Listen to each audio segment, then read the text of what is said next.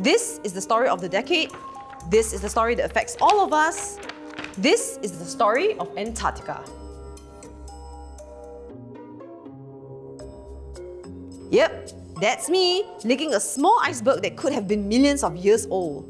It originated from the huge glacier over there, which was formed when snow accumulated on land and compressed into a solid chunk of ice which broke off into the ocean. All this snow over Antarctica serves much more than just aesthetic purposes. It actually reflects excess heat back into space, thus keeping the planet cooler. But due to climate change, the Antarctic ice is melting at an unexpectedly rapid rate, which causes more heat to retain on Earth that melts more ice, which then causes more heat to retain on Earth that melts more ice, which then causes more heat to retain on Earth. You get the idea. This melting of ice inevitably threatens the lives of people living in low-lying island nations worldwide. And also, this guy. How does this matter for our story? Inside this petri dish contains an Antarctic krill. These tiny krills may look like nothing at first glance, but they play a huge role in our ecosystem. The Antarctic krill is a small swimming crustacean that lives in the Southern Ocean and it forms the very foundation of the food web here in Antarctica. All sorts of animals from fishes, penguins, and even gigantic whales feed on them, creating an entire ecosystem that only existed because of these humble little crustaceans. The krill spend a large part of their juvenile life hiding within the ice, and if this icy protection is gone, less krill can survive till adulthood. And with less adult krill, there's less food to go around, which leads to lower number of other animals that rely on it, and boom! Eventual collapse of the food web. Our story doesn't end here. Let's move over to Petermann Island and take a look at these tuxedo waddlers here. These are the Gentoo penguins. They are one of the four species of penguins we can find on Antarctica. These cute little blubbers can be found not only on the mainland of Antarctica, but also on many of the islands around the continent and are generally doing pretty well. Unlike these other derpy looking penguins. These are the chinstrap penguins and their numbers have been falling for years. These two penguin species are affected by climate change really differently and that's because of one word, adaptability. Gentoo penguins forage over continental shelves and don't go far out to sea, while chinstraps rely on floating sea ice for breeding and feeding, which, yep, is slowly disappearing. Also, while both penguin species do rely on krill for survival, unlike the pickier chinstraps, gentoos can cope with a declining krill population by relying on alternative food sources higher up the trophic levels, such as fish. These factors, alongside others such as the increase in rainfall over Antarctica, can really cause species that are unable to adapt quickly enough to suffer. Rainfall?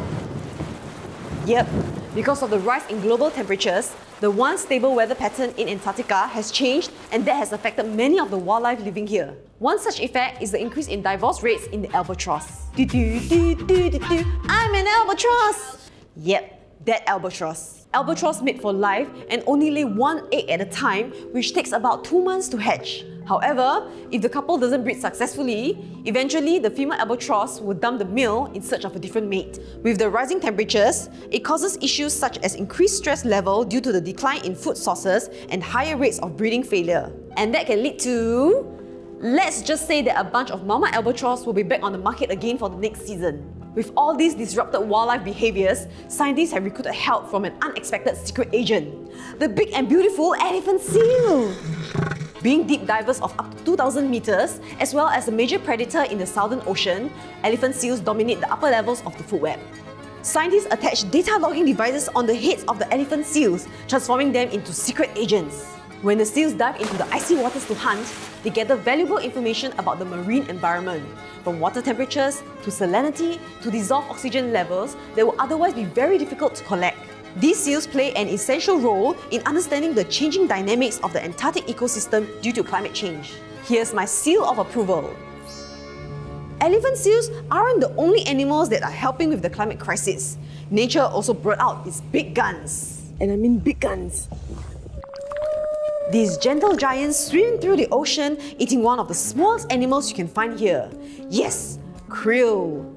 As they swim up and down the water column, these ocean giants act as whale pumps, recycling nutrients and keeping them moving so that they don't settle down to the ocean floor where it becomes inaccessible to other marine life. Many whales also migrate across oceans from nutrient-rich feeding grounds to nutrient-poor breeding grounds where they release a trail of poop and pee in these great whale conveyor belt. This nutrient-rich waste feeds the phytoplankton, a tiny organism living in the sea, and that in turn feeds the krill, supporting this intricate food web. Oh, Phytoplankton also accounts for about 40% of total carbon removed from our atmosphere yearly. So if we work backwards, phytoplankton thrive where whales are, and whales survive on krill, which begin their life cycle under the sea ice. As climate change slowly strips away these foundations of the Antarctic food web, we are increasingly walking on thin ice that could result in a catastrophic outcome. It's so crazy to think that our actions right here can have such a huge impact on the environment and wildlife living so far away. It is not too late for us to make a difference, but we need to start right now. Each individual krill may not amount to much, but as a whole, they can support an entire ecosystem. Just like the krill, if we all play our part and work together, we might just be able to turn this ship around before hitting that iceberg.